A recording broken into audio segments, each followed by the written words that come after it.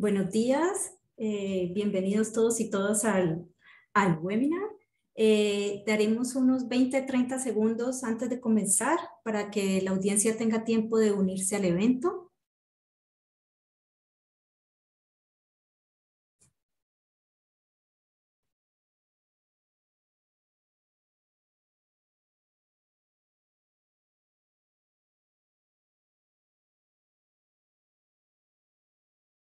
Bueno, antes, eh, antes de comenzar quisiera darles algunas indicaciones logísticas eh, y compartir eh, con ustedes cómo vamos a manejar hoy nuestro Zoom.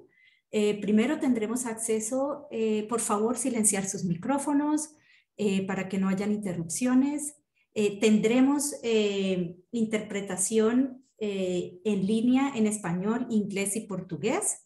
Eh, por favor, use los controles y seleccione el idioma que desea escuchar. Eh, si quiere acceder a otro idioma, por, por favor hacer clic en el icono Interpretation o Interpretación localizado en los controles y seleccionar qué idioma quiere escuchar. También a través de nuestro chat pueden realizar todas sus consultas eh, y si tienen alguna pregunta para nuestros panelistas, pueden ponerla ahí que nuestro equipo se encargará de dar respuesta y de transmitirlas a quien sea necesario. Eh, y bueno, este, creo que estas fueron ya nuestras, nuestras eh, indicaciones logísticas. Yo empiezo por presentarme. Mi nombre es Lina Marmolejo, soy especialista de la división eh, de Innovación para Servir al Ciudadano del Banco Interamericano de Desarrollo.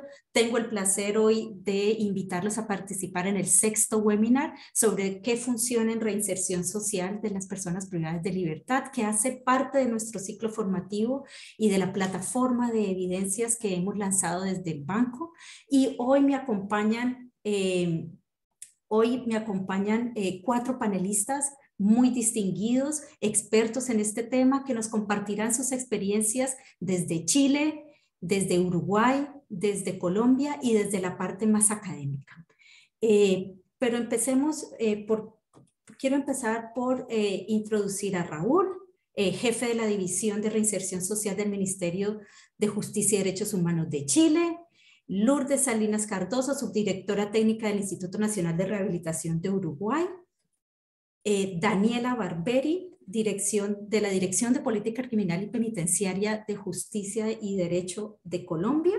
Y finalmente, eh, Pilar Larruet, profesora asistente de la Pontificia Universidad Católica de Chile. Estos son nuestros panelistas y yo muy brevemente les quería contar cómo vamos a, qué, cuál es la agenda del día, en quién nos vamos a enfocar hoy. Eh, primero les, vamos, les voy a contar muy brevemente en qué consiste la plataforma de evidencias en seguridad ciudadana y justicia, eh, en el, dentro de la cual se enmarca este ciclo formativo eh, de webinars que hemos estado teniendo y que hoy tenemos la, eh, el placer de tener el sexto webinar. también conoceremos, como, como bien dije al inicio, conoceremos las experiencias de nuestros panelistas de distintos países y también escucharemos a, nuestra, a la académica Pilar. Y luego al final Dejaremos un espacio para preguntas y respuestas para poder eh, atenderlas. Así que sin más preámbulo, eh, les cuento un poco eh, sobre nuestra plataforma de evidencias. Nuestra plataforma de evidencias es un repositorio que busca agrupar en un solo lugar que sea de fácil acceso y en un lenguaje claro toda la evidencia científica eh, que está disponible sobre la efectividad de lo que funciona y que no funciona en seguridad ciudadana y justicia.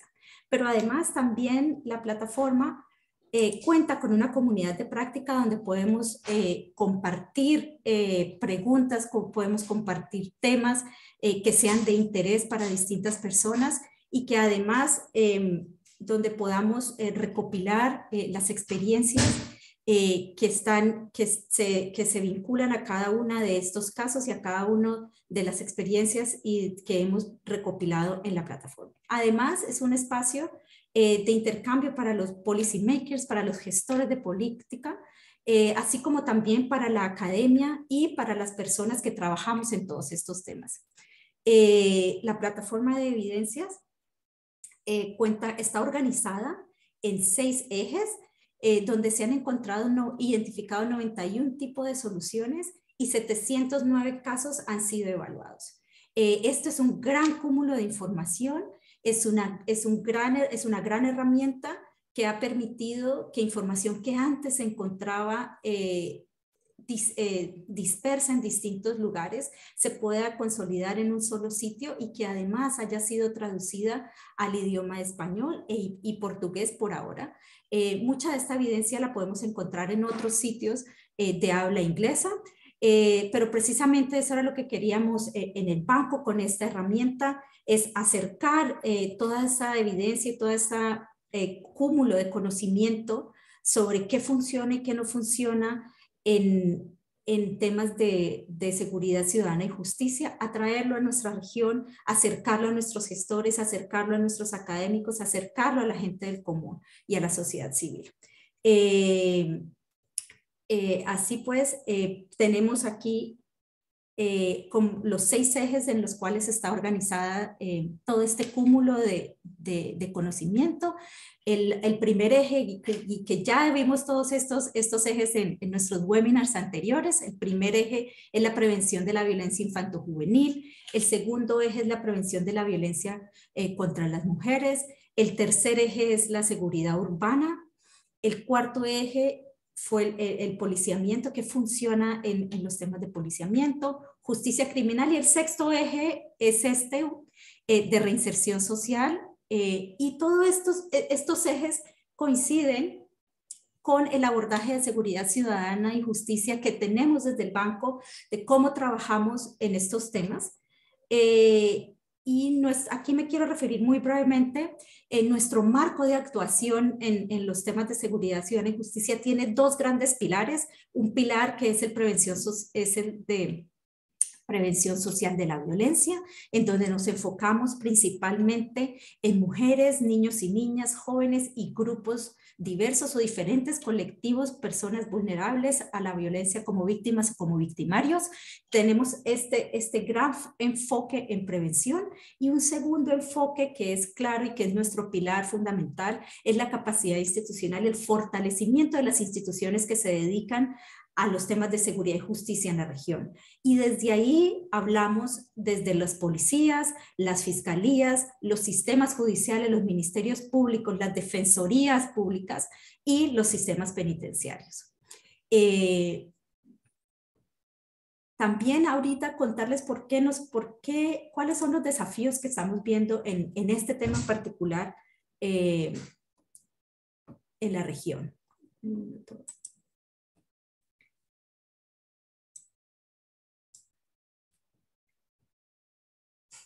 Entonces, eh, en América Latina sabemos que es una de las regiones con, una, con la mayor tasa de encarcelamiento. Tenemos una, eh, aproximadamente 262 personas privadas de libertad por 100.000 habitantes, que comparado con el promedio mundial de 140 personas eh, privadas de libertad por 100.000 habitantes, es bastante alto. Entonces estamos muy por encima del promedio mundial. Además, la población privada de libertad ha venido en aumento y desde el año 2000 ha aumentado cerca de un 120% en América Latina, mientras que a nivel global este aumento ha estado entre un 24 y un 30%. Entonces, nuestra población penitenciaria ha estado eh, en, un aumento eh, exponencial. Además de todo, en la última década, este crecimiento ha generado un colapso de los sistemas penitenciarios que se ha visto agravado por los por la pandemia del, del COVID-19 que tuvimos entre 2020 y 2022. Eh, las cárceles presentan altos niveles de ocupación, es decir, nuestras cárceles llegan a albergar muchas más personas de las que les permite su capacidad. Cerca de 20 de los 26 países de nuestra región superan los niveles máximos de capacidad. Eh, pero además, eh, a pesar, y aquí quiero hacer un enfoque muy particular, eh, porque siempre los sistemas penitenciarios de nuestra región y, en general del, del, mundo han estado enfocados en, en, la población masculina, pues representan la gran mayoría em, la, gran mayoría de la población penitenciaria. Sin embargo, y a pesar de que la población femenina representa eh, un 7% de la población total penitenciaria eh, en el mundo, debemos, enfocarlos, eh, debemos enfocarnos en, estas personas. en los últimos años han en los últimos años este, las, las, mujeres privadas de libertad han ido en, en, en, crecimiento en su representación en los sistemas penitenciarios. De acuerdo con datos más actualizados del Institute for Criminal eh, Policy Research, en el mundo entre 2000 y 2022 el número de mujeres en prisión aumentó aproximadamente un 60%. Eh, mientras eh, que como ya vimos la población general aumentó tan solo un 24 o un 30%, es decir, las mujeres han estado eh, ha incrementado su porcentaje de representatividad en los sistemas penitenciarios. Y en América Latina no es la excepción, también en este mismo periodo las mujeres privadas de libertad han tenido un aumento de cerca del 56%. Pero además sabemos eh, que, la cárcel como instrumento de prevención de violencia no es efectiva. Eh, evidencia internacional y recientemente evidencia en América Latina y el Caribe nos ha demostrado que de todas las personas, eh, cerca de dos tercios eh, de las personas que salen de libertad, que salen en libertad, reinciden o vuelven a delinquir antes de los tres años y que cerca de la mitad, es decir, el cerca del 50%, lo hacen en los primeros seis meses luego de salir en libertad. Es decir, las personas que, el, ciclo de las personas que entran y salen de la cárcel es un, es un círculo eh, que se mueve muy rápido, en donde las personas tenemos seis meses antes de que vuelvan a delinquir y por eso la importancia de enfocarnos en programas que reduzcan esta reincidencia y que permitan a las personas em, transitar, hacer esa transición de la mejor forma posible, de una manera exitosa. Y eh, por eso estamos conversando hoy sobre estos ejes eh, y sobre este tema en, en, el webinar. Específicamente en la plataforma, en este eje vamos a encontrar cerca de 157 eh, casos evaluados, 18 tipos de soluciones, entre los cuales se han identificado eh, un tipo de solución efectivo, siete tipos de soluciones prometedoras y ocho tipos de soluciones eh, con evidencia mixta.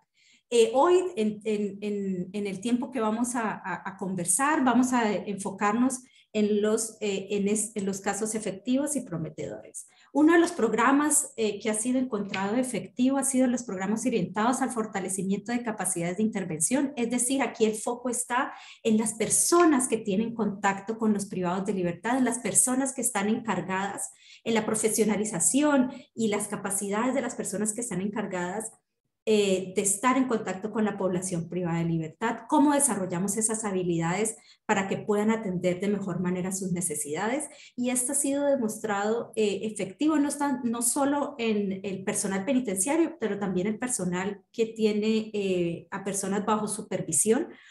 o, o, quienes cumplen su, su condena en, en la comunidad y están eh, bajo supervisión. Esto ha sido eh, demostrado efectivo en, Estados Unidos. Y luego encontramos varias eh, iniciativas y varias estrategias que han sido, que están calificadas como prometedoras en, en la plataforma em, como son los programas de intervención especializados en la población femenina o enfocados en las necesidades especiales eh, de rehabilitación y de reinserción de las mujeres privadas de libertad, intervenciones cognitivo-conductuales para la rehabilitación de infractores, las intervenciones que promueven la educación, la capacitación y el empleo eh, de las personas privadas de libertad y en su transición. Las medidas alternativas a la cárcel también han sido eh, clasificadas como una estrategia prometedora. Eh, la gestión de los casos y la gestión individualizada de los casos eh, de los periodos de libertad y de los casos eh, de los, del tiempo entre que, desde que entran las personas a la prisión hasta que salen y, pueden reintegrarse a la, a la, comunidad. Y las entrevistas motivacionales son seis de los, de, las, de los casos que, se, que podemos encontrar en la plataforma y que se han clasificado como prometedores. Ahora, sin más, eh, vamos a darle la palabra a nuestros eh, distinguidos panelistas. Eh, estamos primero, vamos a empezar por, por Raúl. Raúl, y ahí quisiéramos que nos contaras, por favor, un poco sobre por qué, por qué crees que es importante diseñar programas de reinserción social focalizados en las necesidades de la población femenina. Sabemos que Chile es un referente para la región en estos temas. Chile desde cerca del 2000, 2008 ha venido implementando eh, marcos conceptuales y políticas eh, para atender específicamente las necesidades de la población femenina privada de libertad. Eh, ha, He implementado programas que atiendan específicamente sus necesidades. También los ha evaluado y ha hecho uso de la evidencia internacional para, para diseñar estos programas. Varios de los programas incorporan, eh, nos, como ya vimos en los, en, en, en, los casos prometedores y en las estrategias prometedoras, incorporan em, estrategias relacionadas con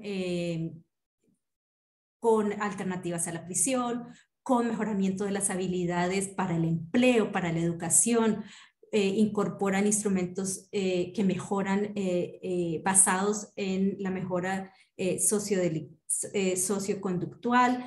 así que cuéntanos un poco cómo ha sido esa trayectoria de Chile, por qué se han enfocado en eso, cómo lo han hecho y alguna referencia también a los elementos clave en el diseño e implementación de estos programas.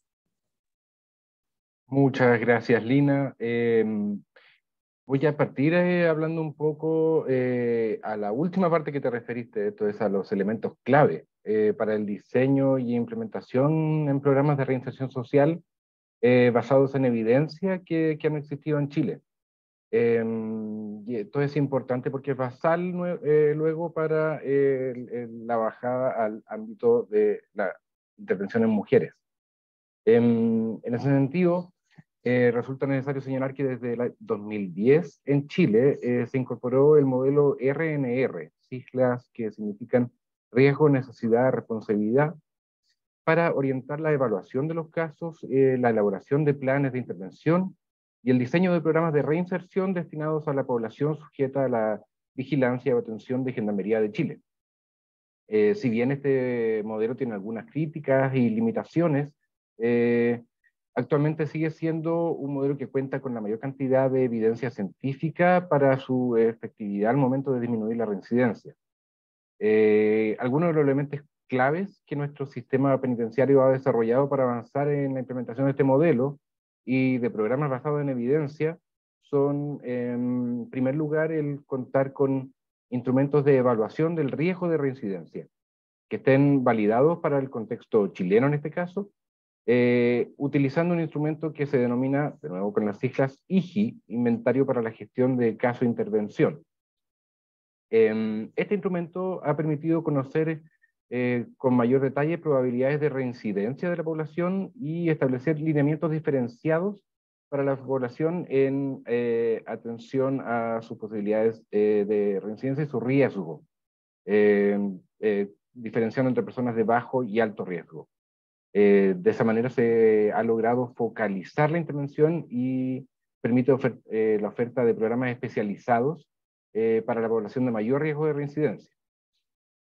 este IGI también es utilizado para identificar las necesidades de intervención de la población penal y contar con información respecto a las áreas de intervención que requieran de una oferta programática acorde.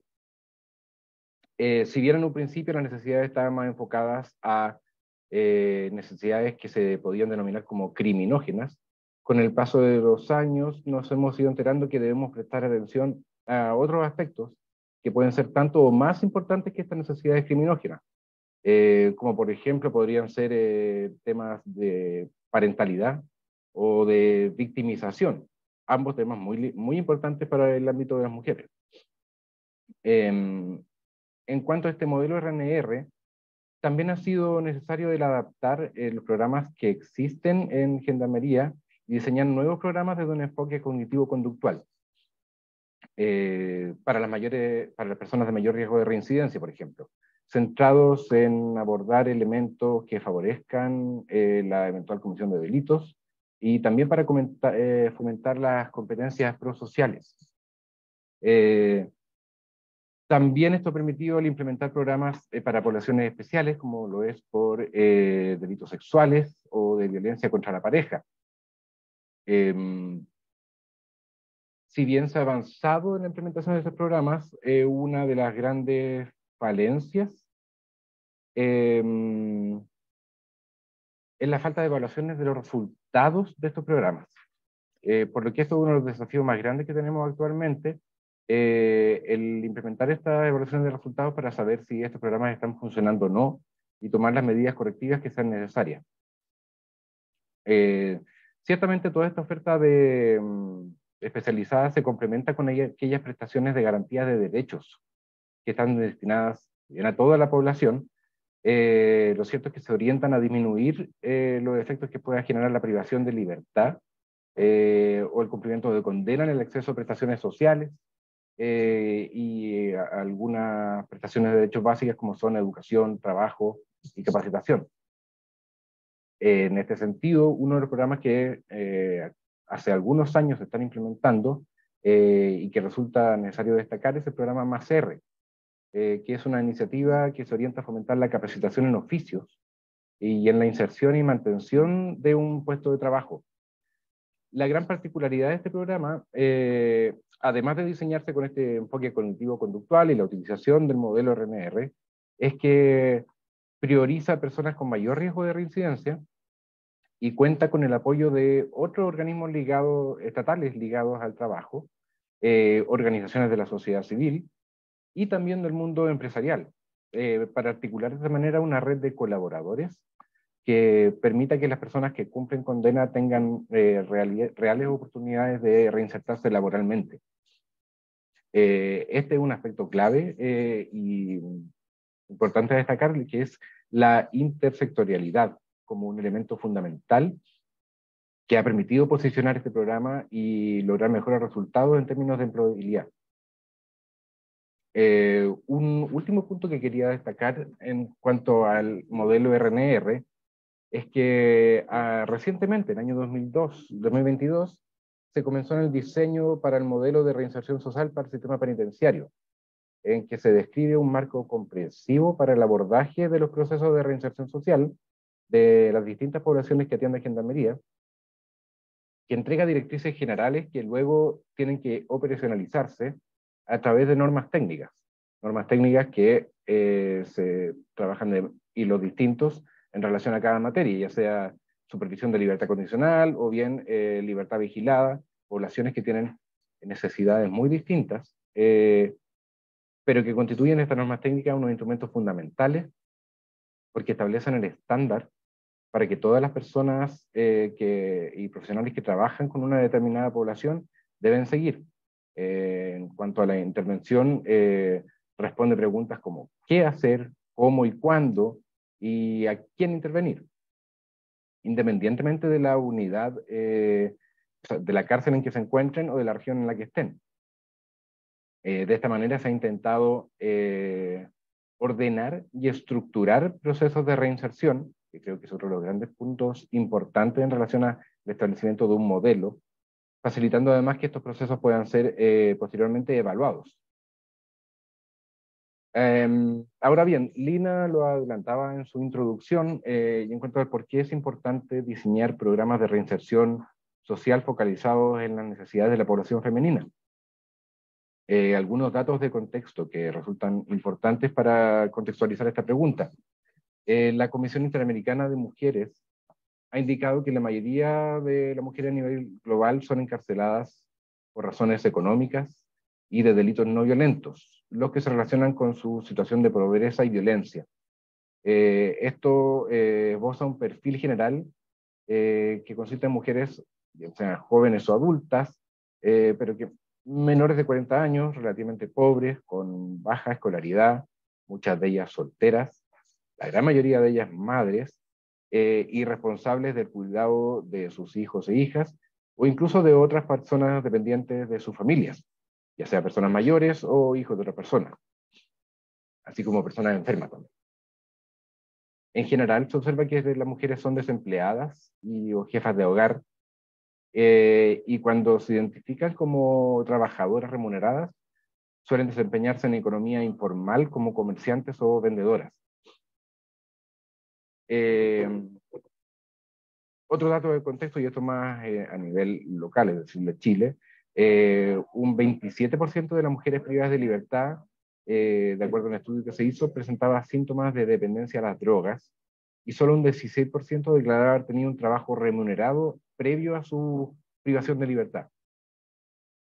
También, de acuerdo a datos estadísticos, señala que el 94% de las mujeres privadas de libertad tiene uno o más hijos, con un promedio de casi tres hijos por mujer, eh, quienes se ven expuestos a quedar en una situación de alta vulnerabilidad y transformándose en una fuente de estrés y ansiedad para las mujeres privadas de libertad.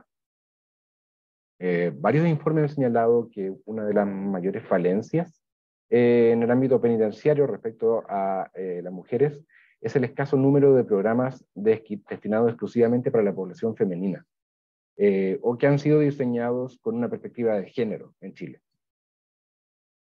Em, en, actualmente a nivel nacional, es decir, que se aplican en todas partes, eh, existen tres iniciativas que implementa Gendarmería de Chile, eh, denominadas Conozca a su hijo, el programa Creciendo Juntos, y otro que es de prevención selectiva de drogas pero este tiene un alto nivel de concentración en la región metropolitana eh, y en términos numéricos eh, abarca alrededor de un 40% de la población privada de libertad femenina.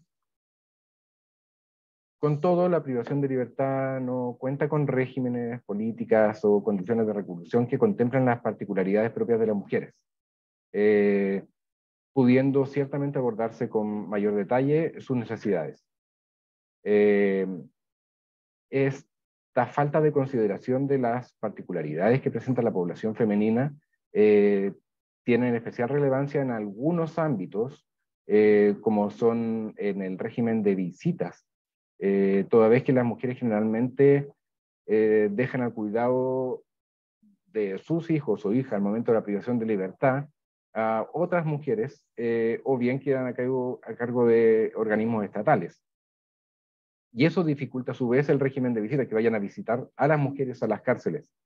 Eh, sumado a ello, en los casos de recintos penitenciarios de población masculina, eh, el ingreso de mujeres en calidad de visitas, ya sea con hijos o hijos, eh, se dificulta desde su ingreso hasta el traslado de la mujer hacia esos recintos. todo, muchas mujeres durante su reclusión no reciben visitas.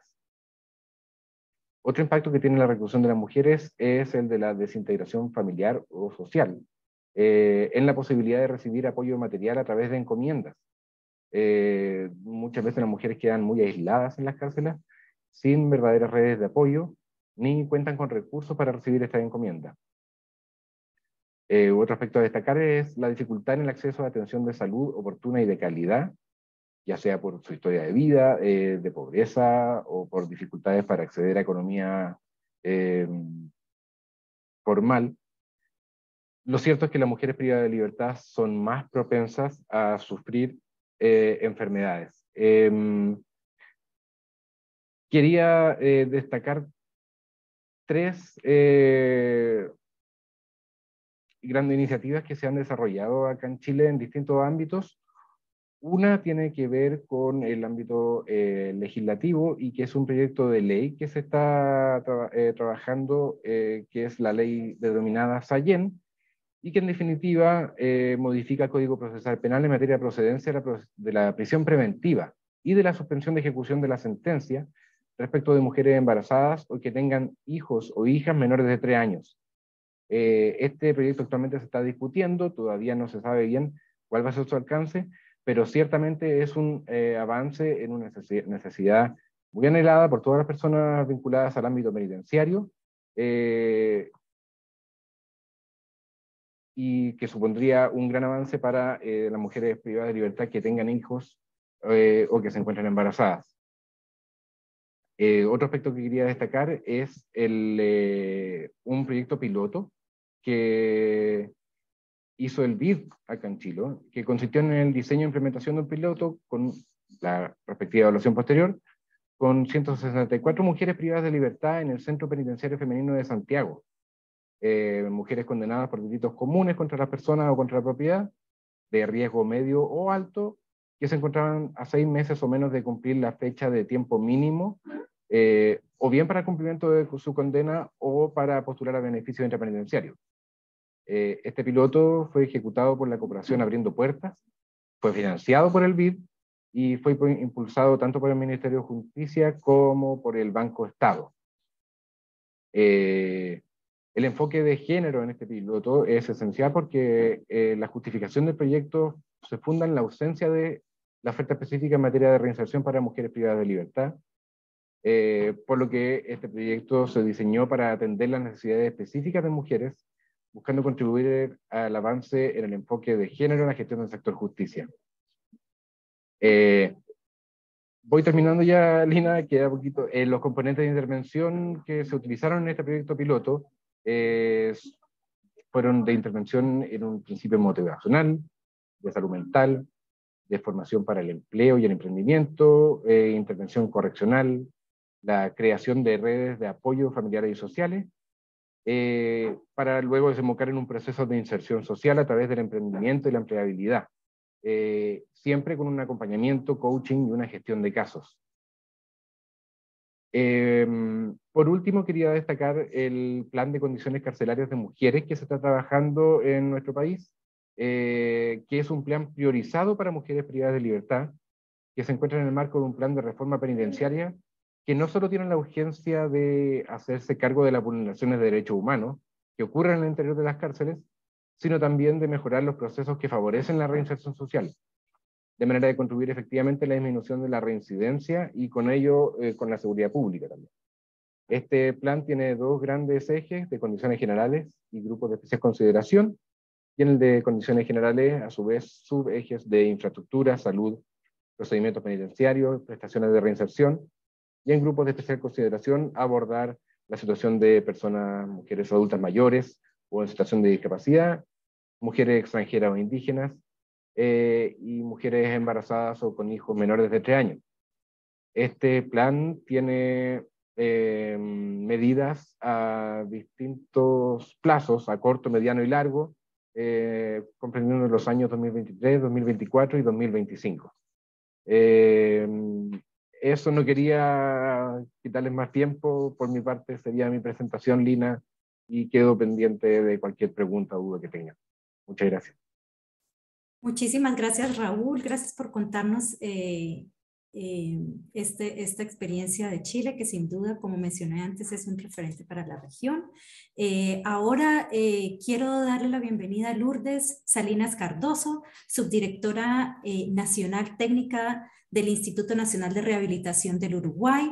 Esta subdirección tiene como principal objetivo el diseño eh, de políticas de intervención penitenciaria para rehabilitación de las personas privadas de libertad. Lourdes además es presidenta del Consejo de Política Criminal y Penitenciaria, ámbito interinstitucional en el cual eh, se diseñan y se monitorean eh, la política criminal y penitenciaria del Uruguay. Eh, Lourdes es eh, licenciada en psicología, estudiante de la maestría de Derechos Humanos de la Universidad CLAE de Uruguay y se ha desempeñado en distintas funciones en el Instituto Nacional de Rehabilitación desde el 2011.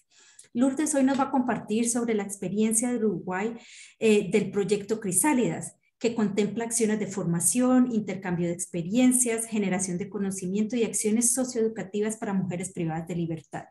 Lourdes, cuéntanos por favor cuáles han sido los principales logros, limitaciones, cómo han incorporado la evidencia científica en este programa y cuál ha sido eh, el rol del sector privado y la sociedad civil en, el programa. Bien, muchísimas gracias para todos y para todas por, la invitación. Eh, antes que nada, este, quiero destacar la, presentación de, Raúl, me pareció muy, muy completa y muy similar las experiencias de, Chile con, con, los de Uruguay y la situación o, el estado de situación de las mujeres también privadas de libertad, perfiles muy similares también y, trabajamos justamente de la misma forma. Muchas gracias, Raúl. Eh, bien, yo antes que nada brevemente un, pequeño contexto del Instituto Nacional de, Rehabilitación para saber, bueno, dónde justamente es que se escribe este, este proyecto. Eh, el Instituto Nacional de Rehabilitación es de reciente creación, a partir del año 2011 es que se pone en funcionamiento el Instituto Nacional de Rehabilitación por medio de, una ley. Anteriormente existía eh, la Dirección Nacional de Cárceles y Penitenciarías, Eh, con el cambio, el instituto se hace un cambio de paradigma en cuanto a la intervención penitenciaria en nuestro país, más focalizada en la persona privada de libertad, en derechos humanos, en la intervención, en el desarrollo de programas, en la incorporación de operadores penitenciarios civiles, de perfil civil, al, régimen de vida o a la interacción con las personas privadas de libertad. Ese fue un hito para nosotros eh, muy importante y que, bueno, que hasta el momento continuamos em, desarrollándolo y, también este, reformándolo. Em, es a partir del año 2017 que, en Uruguay se incorpora eh, dentro de lo que tiene que ver con la, reinserción social y la evaluación de las personas privadas de libertad, el modelo de riesgo, necesidad de capacidad de respuesta, también por intermedio de, una, de, una, em, de, un instrumento de valoración de riesgo específico llamado OASIS. En este momento nos encontramos en un proceso también de validación del instrumento. Eh, nos encontramos también en un proceso de sistematización del instrumento. Hasta el momento es eh, un instrumento que se hace en papel y que bueno, luego se, archiva en, la carpeta jurídica de, la persona privada de libertad y se utiliza en los momentos en que la persona va a ingresar a algún programa de intervención o cuando solicita alguna salida transitoria o libertad anticipada, ante esas evaluaciones que se da uso de, ese instrumento, además de la, de la inclusión en, diferentes programas. Eh, el instituto está conformado por tres subdirecciones nacionales, una subdirección operativa, que se encarga justamente de todo lo que tiene que ver con la seguridad, las conducciones y la seguridad en general de todos los, los eh, las unidades penitenciarias, una subdirección administrativa, que es la que da justamente el encuadre más de, logística y de recursos humanos a disposición de, la intervención técnica, y una subdirección técnica la cual eh, yo presido. Hoy contamos con 26 unidades penitenciarias y un centro de ingreso diagnóstico de derivación metropolitano. Eh, y bueno, en este marco, específicamente con el tema de la intervención o rehabilitación o reinserción social de las mujeres privadas de libertad, eh, como les decía, un perfil muy similar al que, justamente eh, describió Raúl hace, un momento. Eh, en nuestro país también tenemos un, gran debe en cuanto al desarrollo de políticas específicas con perspectiva de género en la intervención penitenciaria.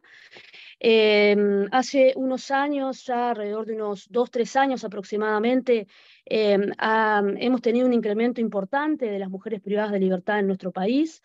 Em, esto ha determinado que, bueno, dificultades a nivel de, de, la estructura edilicia. Nosotros Históricamente en nuestro país la mujer eh, privada de libertad no, se han eh, construido o desarrollado eh, estructuras edilicias acordes a, las mujeres privadas de libertad, sino que siempre se han utilizado otras estructuras que son pensadas para, para hombres privados de libertad y no para mujeres. La primera cárcel en nuestro país que se, para mujeres fue en un, convento. Este, la cárcel actual en nuestro país es un ex hospital mental eh, no tiene la, infraestructura este, necesaria y debida para desarrollar eh, de buena forma los programas de, intervención. Y bueno, en este momento nos encontramos justamente en un proceso de diseño y eh, licitación de un proyecto para, de una nueva cárcel para mujeres privadas de libertad con perspectiva de género, con este, un, un contenido pensado específicamente para las necesidades de las mujeres privadas de libertad, va a contener un sector de ingreso, que hoy en nuestro país no tenemos un sector de ingreso para las mujeres, donde van a ser evaluadas, va a tener un sector de pregreso también para trabajar esa etapa tan importante para, para su reinserción social y un sector también para eh, mujeres trans. Es, es, algo inédito para nosotros, como les digo, histórico, porque no, no, no, nunca se había pensado desde ese lugar para poder trabajar en, la intervención y el alojamiento debido para, para las mujeres privadas de libertad. Em, bien, dentro de, nuestra estructura de la Subdirección Nacional Técnica, nosotros contamos con diferentes, diferentes programas, programas este, em, vinculados al, al, modelo de riesgo y programas vinculados también eh, a eh, la concreción justamente de los derechos eh, de las personas privadas de libertad, como em, actividades educativas, actividades laborales, actividades deportivas, salud, entre otros. En lo que tiene que ver específicamente con el proyecto Crisálidas, es un proyecto que es cofinanciado por la Unión Europea, lo lleva adelante la, la Universidad CLAE, y el principal objetivo es el fortalecimiento de las organizaciones civiles en nuestro país, con énfasis en la reinserción de las mujeres privadas de libertad. Este proyecto lleva ya, este es el segundo año de desarrollo del proyecto. Es, em, nosotros en nuestro país no tenemos eh, una, por lo menos en lo que tiene que ver con la privación de libertad, no, tenemos una eh, historia muy larga o una experiencia muy rica en, relación a, la privación de libertad de las organizaciones civiles. Eh, no tenemos muchas organizaciones civiles que, se presenten o, que quieran trabajar en privación de libertad como su directora nacional técnica entiendo que este, que este es el puntapié inicial para, para, abrir esa puerta y para abrir esa oportunidad a que más organizaciones civiles, más actores sociales puedan acercarse, puedan proponer, hacer sus propuestas y, y trabajar en privación de libertad. Los recursos del INR, como me imagino en otros sistemas penitenciarios, son finitos. Eh, los recursos eh, técnicos, recursos eh, logísticos, recursos humanos, entre otros, y nosotros entendemos que no lo podemos hacer solos. Por lo tanto, em, la posibilidad de que otras organizaciones e instituciones trabajen con nosotros a la par, con, em, cumpliendo con los lineamientos establecidos por la Subdirección Nacional Técnica en relación a la intervención penitenciaria, es este, una muy buena oportunidad. En este caso, para nosotros es eso, es un fortalecimiento, no solamente para las organizaciones civiles, sino también para el sistema penitenciario. Nosotros acá estamos hablando de, em, antes que nada, eh, la sensibilización de la situación de las mujeres privadas de libertad en nuestra sociedad y en nuestra comunidad. Para nosotros eso es muy importante. Eh, como les decía, hace un tiempo, un tiempo, hace unos años ya nuestra población ha, aumentado, eh, principalmente mujeres que se encuentran por narcomenudeo, Em, hay también un proyecto de ley, una modificación eh, legislativa eh, para eh, reducir el tiempo de, permanencia en privación de libertad de esas mujeres, incluso hasta que pueda llegar a ser este, escarcelable el, delito, que también está en, discusión, tomando en consideración también este, este aumento tan, significativo. Y bueno, también observamos el impacto eh, no solamente en privación de libertad, sino también en el afuera, la familia, los hijos que permanecen, que, bueno, que muchas veces no tienen una un, lugar específico, ¿no? Muchas veces esas madres son privadas de libertad, los niños terminan eh, eh, institucionalizados o tal vez en ese momento con un vecino, el vecino no se puede hacer cargo, bueno, todas esas situaciones, todos esos impactos que tienen no solamente en privación de libertad, sino también en, la comunidad.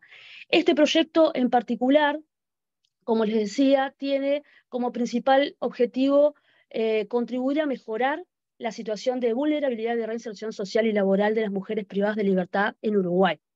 Esto se haría a través del fortalecimiento de la sociedad civil, las instituciones públicas y el involucramiento del sector privado desde un enfoque de eh, derechos y de género. La estrategia principalmente es un trabajo directo con las mujeres privadas de libertad.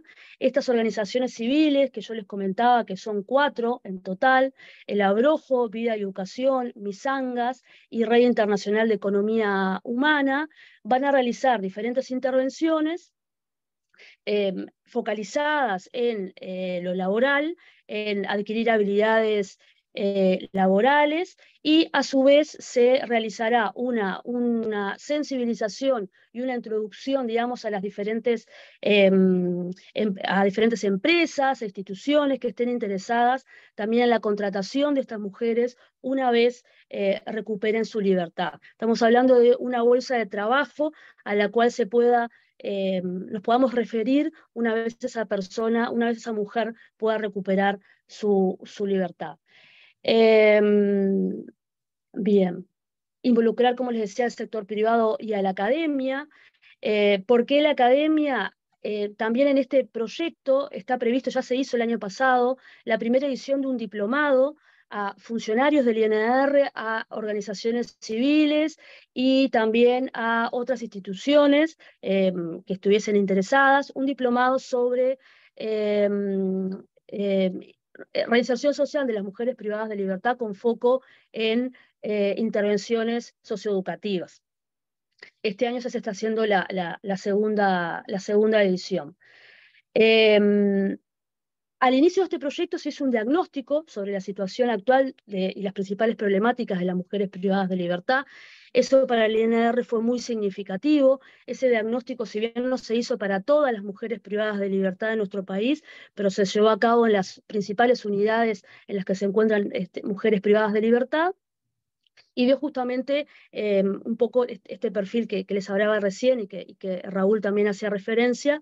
Eh, y bueno, para nosotros fue muy importante porque eh, pudimos tener como esta, esta mm, esta visión o, esta, o, este perfil que permite pensar en otras intervenciones necesarias también para las mujeres privadas de libertad, pero no solamente intervenciones relacionadas con la reinserción social, sino también con otros aspectos que hacen a em, su desarrollo en privación de libertad y que tienen un impacto directo como puede ser las necesidades relacionadas a su familia, con, una de las principales necesidades es, bueno, dónde están sus hijos, con quién quedaron, cuáles son las necesidades de ellos, eh, también justamente eh, cómo se van a poder solventar una vez recuperen su, su libertad. La salud mental está muy presente también en las mujeres. Eh, nosotros en nuestro país tenemos, eh, en, lo que es específicamente la cárcel más grande que tenemos para mujeres privadas de libertad, que tiene unas 660 mujeres, eh, tenemos un servicio de salud bastante completo, con psiquiatra, un, em, un equipo de salud mental que hace un seguimiento pero siempre es, necesario fortalecer justamente esas, esas intervenciones. Em, el proyecto, como les decía, eh, se desarrolló un diplomado el año pasado, este año se sigue también, y en este momento nos encontramos en, en el diseño y la ejecución de los eh, talleres específicos eh, focalizados en inserción laboral con las mujeres privadas de libertad. Estas organizaciones civiles que les comentaban em, fueron seleccionadas a algunas unidades del país para que ellos puedan asistir y trabajar diferentes aspectos, eh, capacitaciones laborales, competencias, em, salud, eh, bueno, todo lo relacionado a las, eh, las competencias relacionadas a la intervención socioeducativa. Em, bien.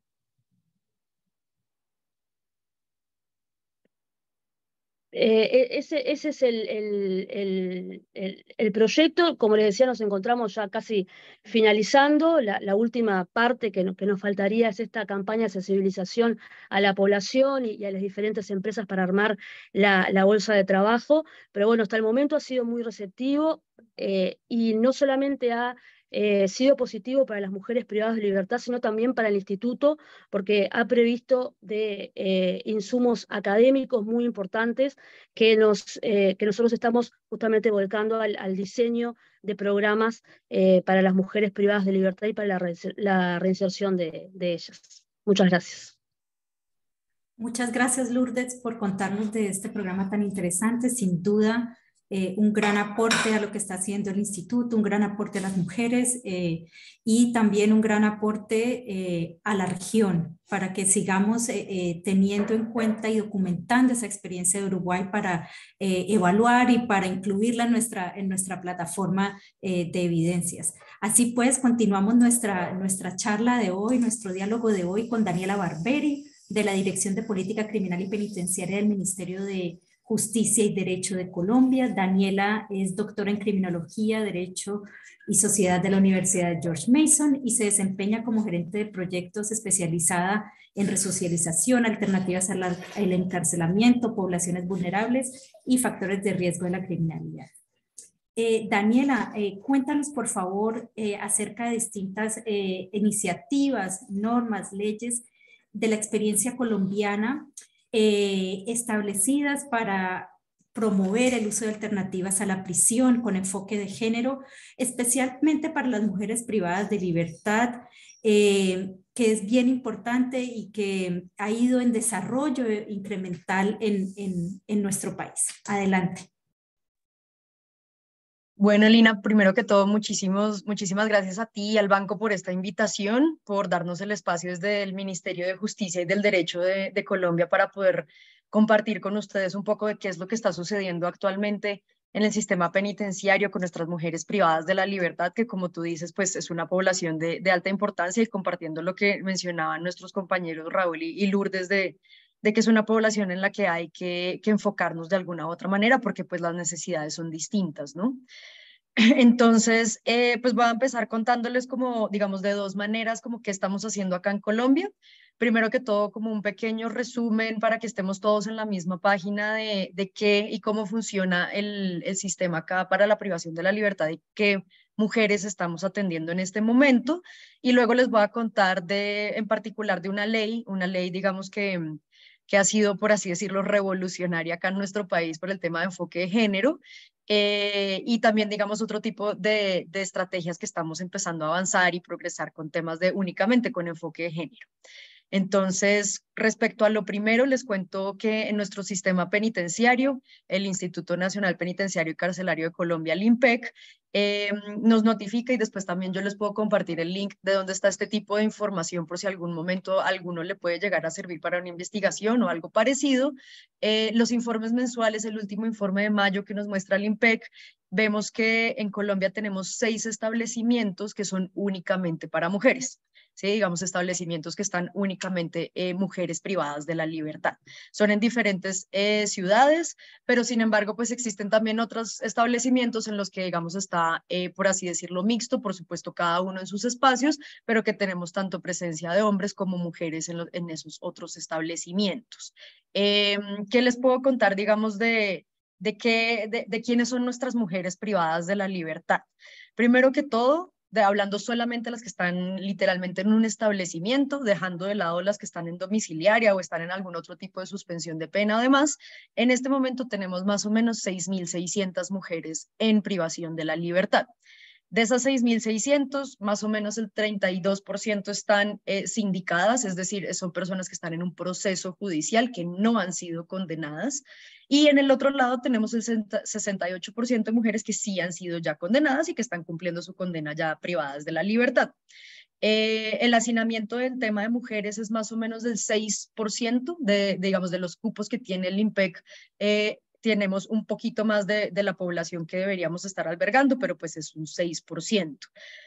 Para hacer un poco la comparación entre los hombres y las mujeres, más o menos por una mujer privada de la libertad, tenemos 14 hombres privados de la libertad en Colombia, entonces como para que se entienda un poquito, eh, más o menos el 40% de nuestras mujeres están entre 25 y 34 años, entonces pues es una población bastante joven.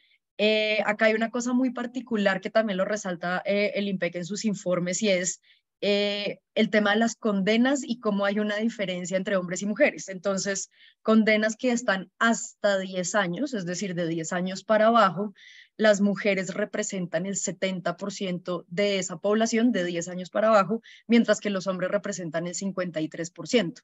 Entonces, pues imaginémonos ahí, de una mujer 14 tenemos hombres, pero de, las, de esa longitud de la condena tenemos muchas más mujeres por debajo de 10 años, digamos lo que no podría pensarse como, pues como esos delitos un poco menores, como los llamamos, digamos, en el campo, tenemos muchas más mujeres que hombres, pero pues tenemos una mujer por cada 14 hombres, entonces pues digamos que eso es bien, bien particular de nuestra población. Eh, les puedo decir que más o menos el 90% de las mujeres eh, no han terminado su bachillerato o pues están ya en ese último punto del bachillerato, entonces pues tenemos una enorme población en la que eh, hay que enfocarse, digamos, desde un aspecto de la educación. Em, y pues por supuesto también tiene que ver con, con el tema de, de, como, de, de del enfoque de género. Hay un proceso muy eh, puntual respecto al tema de gestantes. Tenemos niños, 35 niños que viven con sus madres en el, sistema penitenciario, eh, pero digamos era hasta ahí como para contarles un poco de, quién es esta población privada de la libertad. Eh, aquí les voy a contar entonces de esta ley que yo les mencionaba anteriormente, es la ley 2292. Esa ley fue firmada por el presidente en marzo de este año y es una ley que resalta muchas cosas que mencionaba Raúl que es el tema de ser madres, de tener dependientes, de tener personas también enfermas, de mujeres que muchas veces son desempleadas y son jefes cabeza de hogar. Digamos que todo eso que nos decía Raúl prácticamente es lo que recoge esta nueva ley 2292. Lo que hace la ley es que genera un sustituto a la prisión de las mujeres que son, uno, cabeza de hogar, eh, mujeres que además hayan cometido delitos por hurto por estupefacientes. Ustedes saben que muchas veces nuestras mujeres son instrumentalizadas. Normalmente tenemos estos hombres capos, por así decirlo, dentro del mundo del narcotráfico, dentro del mundo del hurto, pero en verdad quienes terminan siendo arrestadas y judicializadas son las mujeres. Entonces, esta ley, digamos que le apunta precisamente a esa instrumentalización de esas mujeres cabeza de hogar que además están en ese en esa responsabilidad adicional eh, y que precisamente lo que quiere la ley es evitar que estas mujeres estén privadas de su libertad y que más bien estén eh, con sus familias, estén en libertad, estén también generando un, factor protector para esos niños y niñas también menores de edad o para esos dependientes que, que no tienen cómo valerse por sí mismos eh, y que las mujeres estén afuera colaborando. ¿Qué es lo que hace la sustitución? Es generar un servicio de utilidad pública o pues digamos de otra manera es un servicio comunitario. Entonces las mujeres que son cabeza hogar, que son de estos delitos o que tienen también delitos menores, ellas van a poder cumplir su condena en libertad, van a poder trabajar, van a poder estudiar, no necesitan, digamos, por así decirlo, permisos especiales, van a estar con sus familias, van a estar en ese rol de jefe de hogar eh, mientras van cumpliendo su condena. ¿Cómo funciona? Cinco horas de ese servicio comunitario es igual a una semana de la condena de ellas. Ellas tienen un rango, pueden hacer de cinco horas hasta 20 horas semanales. Eh, pues ustedes saben que muchas veces estas estrategias de los servicios comunitarios pues son servicios que no son remunerados, no son pagos, sino que por el contrario pues es la manera en la que ellas están cumpliendo su sentencia y por así decirlo también reparando y devolviendo a la comunidad. Los servicios eh, pueden ser de diferentes aspectos, pueden ser apoyo a proyectos eh, de, digamos, de, animales, proyectos ambientales, proyectos educativos, pedagógicos, digamos que hay diferentes estilos, eh, pero pues la idea es precisamente como como generar una estrategia que sea una sustitución a la condena para mujeres, específicamente con un enfoque de género, pensando además en esas mujeres vulnerables, en esas mujeres que han sido instrumentalizadas por, por esas bandas criminales y darles la opción de que ellas puedan estar afuera. Muchas de ellas, hablando personalmente con ellas, eh, cometieron precisamente un delito por el tema de marginalidad, por el tema de ser vulnerables, por el tema de mantener a sus familias y la idea es precisamente no castigarlas, sino más bien que ellas puedan reparar ese daño en libertad, eh, estando también de la mano con sus familias y, ejerciendo ese, ese rol de jefe de hogar. Hasta ahí, digamos, les cuento de la ley. No sé, Lina, pues ahí más adelante, cualquier otra pregunta, pues totalmente disponibles desde el Ministerio de Justicia. Muchas gracias, Daniela. Gracias por eh, contarnos sobre esa iniciativa tan importante eh, de brindar alternativas a la prisión para que las mujeres eh, puedan cumplir sus condenas en, en la comunidad y puedan enfocarse en su reinserción y rehabilitación. Nuestra última invitada de hoy, y perdón Pilar que siempre la última queda con un poquito menos de tiempo, es, es Pilar Larruet, profesora asistente de la Pontificia Universidad Católica de Chile. Pilar cuenta con un doctorado en criminología y justicia por la Universidad de Maryland de Estados Unidos y Pilar eh, ha realizado, fue la, principal investigadora del primer estudio longitudinal eh, sobre reinserción de mujeres eh, privadas de libertad en Chile. Así que Pilar, queríamos que nos contaras un poquito eh, en los minutos que nos quedan y para la audiencia eh, que nos está escuchando, ¿cuáles crees que casi siempre pensamos que la rehabilitación y la reinserción eh, como el tratamiento de problemas de la adicción por un lado y provisión de oportunidades y empleo y vivienda por el otro, pero ¿cuáles son los principales elementos de un enfoque integral para la rehabilitación y la reinserción en el sistema penitenciario, principalmente para las mujeres? Y finalmente, ¿cuáles crees que son algunas brechas eh, de conocimiento, esos gaps de conocimiento que aún persisten eh, en este tema en particular y en los cuales deberíamos enfocarnos eh, desde la academia, desde el banco, desde el mismo sector público? adelante, Pili. Muchas gracias, Lina, por la invitación. Espero cumplir en, en hacerlo corto, ¿cierto? porque hay dos preguntas en una. O sea, una primera sobre eh, cuál sería este enfoque integral. Yo creo que al pensar en intervención en el caso de las mujeres tenemos que considerar aquellos elementos que son comunes a cualquier programa de intervención que ya, llamado exitoso, ¿cierto? Eh, y aquí tendemos a definir el éxito a través de la no comisión de un nuevo delito, una disminución de reincidencia, que me importa decir, no necesariamente implica una mayor reintegración social o reinserción social. Y esos elementos, algunos han aparecido ya en la conversación previa de, eh, de los tres panelistas, esta idea de enfocarse en aquellas personas que tienen mayor riesgo de delinquir, siguiendo el modelo de RNR que decía Raúl, programas que duran más tiempo, con una intervención cognitiva conductual, eh, que claramente parecen ser elementos comunes a hombres y mujeres. Y hay un cuarto componente que la literatura señala que hace un programa, eh, que aumenta la probabilidad de que un programa sea exitoso, que es el que incorpora un componente postpenitenciario. Y ese es un punto que me gustaría sí destacar porque creo que eh, a nivel de la región, obviamente mi experiencia más cercana con el caso de Chile, hemos tendido a concentrar nuestras intervenciones en lo que ocurre al interior de la unidad penal con un foco claramente en intervención al interior, que muchas veces no considera un seguimiento afuera. Y como tú bien decías, Lina, cuando presentaste, dos tercios de las personas que salen en libertad reinciden y la mayoría reincide en, en, los primeros seis meses. Y es ese periodo el periodo clave de acompañamiento y de seguimiento. Entonces, me alegra escuchar la experiencia de Crisalia o la misma experiencia que hemos tenido en Chile, ¿cierto? De programas que empiezan a incorporar esta idea de lo postpenitenciario como fundamental. Hay cierta evidencia empírica que, por ejemplo, sugiere que programas de intervención de drogas sin un componente de seguimiento tienden a no ser efectivos, en cambio cuando incorporamos un seguimiento o una intervención postpenitenciaria aumentan su eh, efectividad. Ahora, en el segundo elemento, que es lo particular de la población femenina, yo creo que ha aparecido harto en la conversación previa, ¿cierto? Sabemos que hombres y mujeres eh, privados de libertad vienen de una historia de exclusión social y marginalidad, pero sí hay ciertas diferencias en contraste con los hombres, eh, la literatura, y hay un estudio, de hecho, del mismo banco que trata de reflejar a la población privada de libertad y muestra esto mismo. Eh, los niveles de precariedad económica previa al ingreso a la cárcel de la mujer suelen ser mayor, y eso es consistente con esta idea de feminización de la pobreza. Pero hay dos particularidades que yo creo que son relevantes de destacar y que la literatura también destaca mucho en el caso de la mujer privada de libertad. Uno es que la gran mayoría es madre, algo que aparece claramente destacado en las presentaciones previas de Daniela, por ejemplo. Eh, lo segundo es que tienen mayor probabilidad de haber experimentado violencia sexual en el entorno familiar temprano y violencia de pareja en su vida adulta. Y esto obviamente implica desafíos adicionales en términos de reinserción y reintegración si pensamos que la gran mayoría de las personas vuelven a vivir con sus familias. Y esto podría tener eh, consecuencias en términos de trauma, salud mental, incluso consumo de sustancias. Y también el hecho de que la mujer sale en libertad teniendo que hacerse cargo, ¿cierto?, de otras personas que dependen también de ella. Y eh, desde la academia se ha avanzado mucho en entender cómo hay distintos patrones de involucramiento delictual de las mujeres en contraste con los hombres, pero quizás nos hemos quedado un poquito más al margen en discutir en qué medida esos mismos elementos podrían explicar distintos patrones de reinserción, ¿cierto? O de salida del mundo del delito.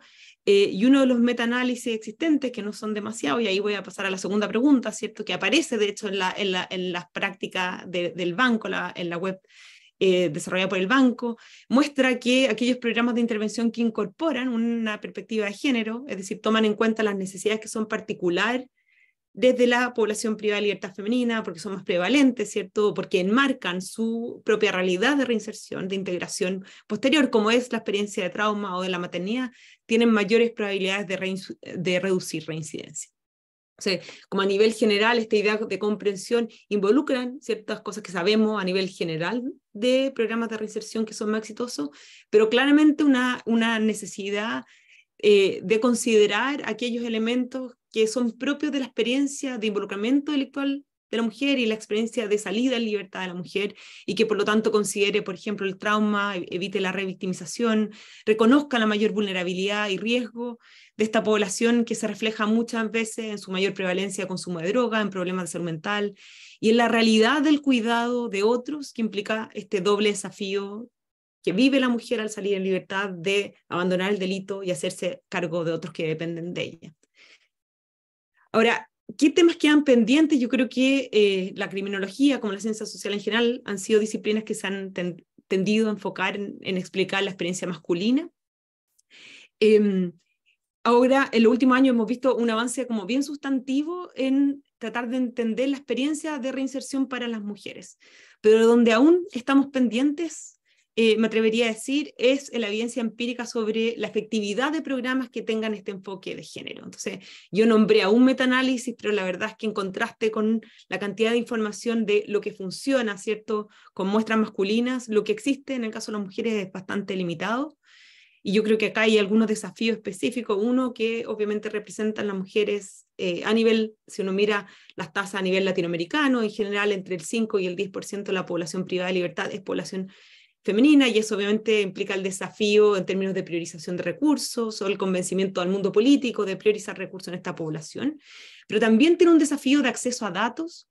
Eh, y acá yo creo que eh, en Chile tenemos la ventaja de contar con buenos datos administrativos, pero es un desafío a nivel del continente, sobre todo en términos de confiabilidad de datos administrativos, y que además está la experiencia personal, ¿cierto?, de haber hecho un estudio de seguimiento, el enorme desafío que implica mantener el contacto con mujeres que salen en libertad y que es lo único que nos permite garantizar eh, el real conocimiento, ¿cierto?, el que podamos seguir al, a la mayor porcentaje de mujeres que salieron.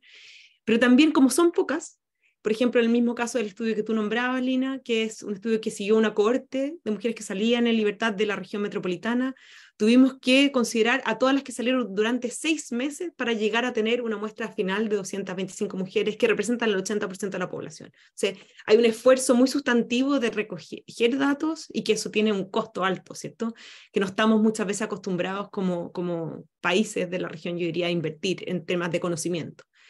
Y un segundo punto pendiente relacionado con el anterior sí es la capacidad de atribuir causalidad a las intervenciones que hacemos y que eh, me parece que, es clave de discutir, ¿cierto? Porque eh, necesitamos saber si que la intervención que realizamos, tanto al interior de la unidad como posterior a la unidad, idealmente, posterior a la privación de libertad, son si vemos cambios, si esos cambios son consecuencias de esa intervención, ¿cierto? O de la selección de quienes participan.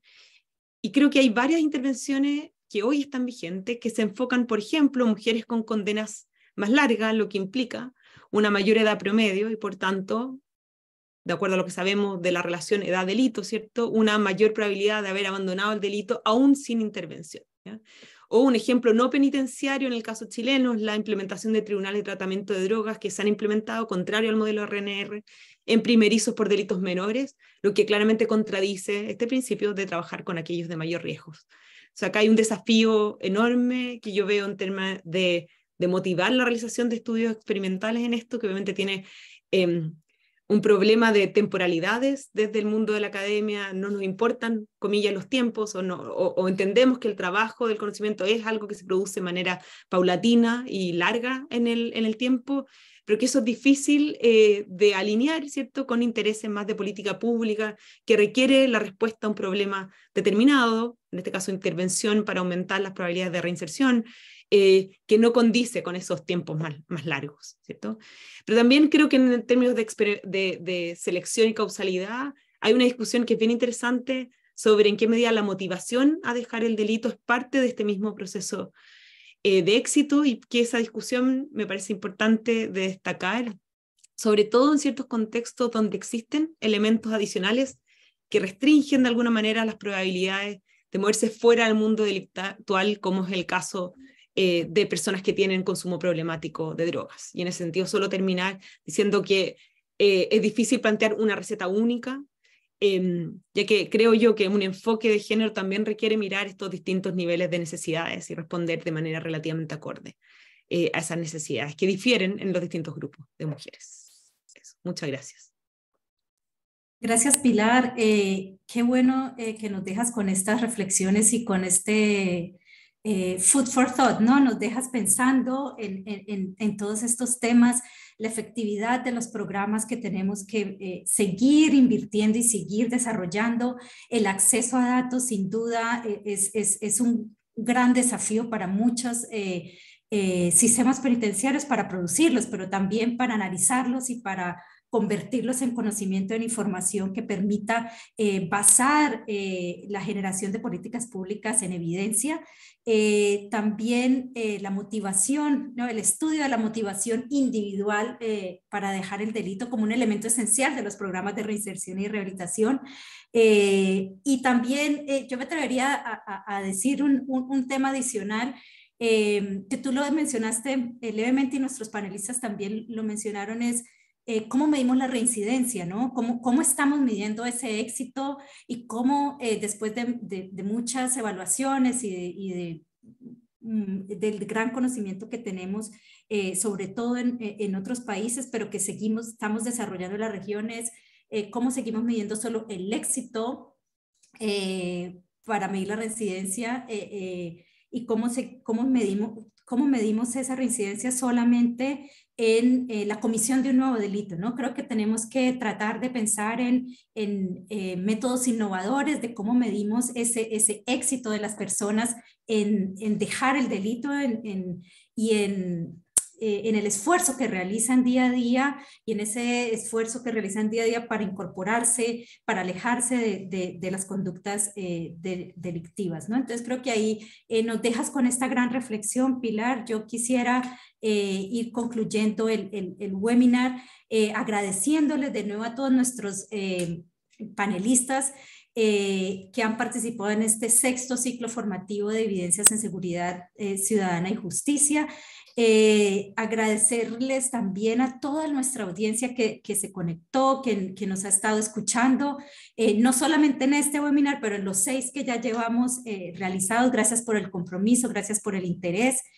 los invitamos a, a, participar y a navegar la plataforma de evidencias. Los invitamos a que nos cuenten vía correo electrónico, vía nuestro blog sobre otras prácticas que no hayamos considerado en la plataforma hasta ahora, sobre otros casos. Aquí hoy tuvimos eh, tres grandes casos pero, y, grandes experiencias. Cuéntenos más, queremos saber más, queremos documentar eh, sus casos y sus experiencias en sus países. Y recordarles eh, que este evento cuenta con la certificación de Vida Academy. Pueden obtener su badge escaneando el código QR en, en los enlaces que he ido compartiendo mis colegas en el chat.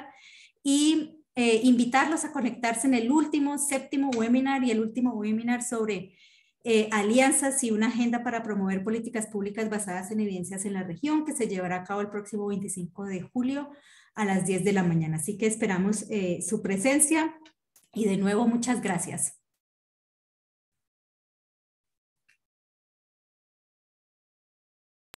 Muchas gracias, Lina, y al banco por la invitación. Gracias. Gracias, muchas gracias, Lina. Un gusto gracias. Gracias por su intervención. Hasta luego, muchas gracias. Muchas gracias.